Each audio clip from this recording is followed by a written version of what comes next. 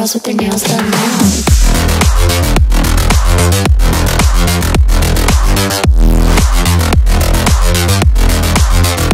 Girls with their